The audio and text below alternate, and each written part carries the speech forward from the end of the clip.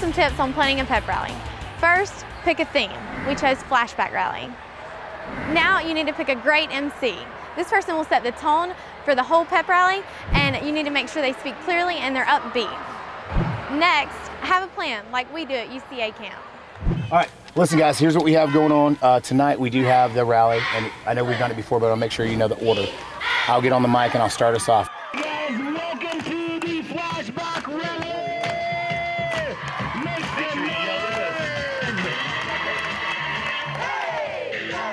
Right after that, we're gonna pull up the best dress, the single person, to do the minute to win it, the game with the paper clips. After that is when we have our coaches come out. Coaches come out, and we're basically gonna dance through the decades. We'll start off in like the 40s or 50s with that music, and then we'll just go up through the 60s, 70s.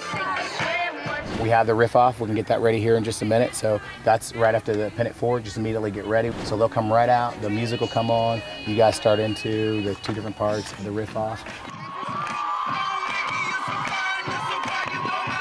After they get done enjoying that, we'll get into what we call the class dance off. So what will happen is we'll do, all right, right where you are, we want to see your best dance moves. Freshmen and below, you guys stand up and break it down. So they'll have a lot of fun dance. Then we'll go into our sophomore side, then juniors, and then the class of 2014.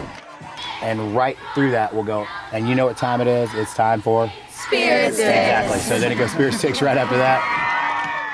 After we get done with Spirit Six, immediately Jen or whoever's on the music will turn on some fun dance music, and we'll just tell them, hey, we're gonna have a dance party for a little bit, play some good tunes for them, surprise some line dances, so on and so forth, and they'll let them dance out the night away. You guys have a good time out there, dance with them as well, and then you'll hear me get on the mic, and I'll call you guys, the staff, all right? I'm going head over to the field or where we're gonna meet for our for the rest of the evening, and then we're done.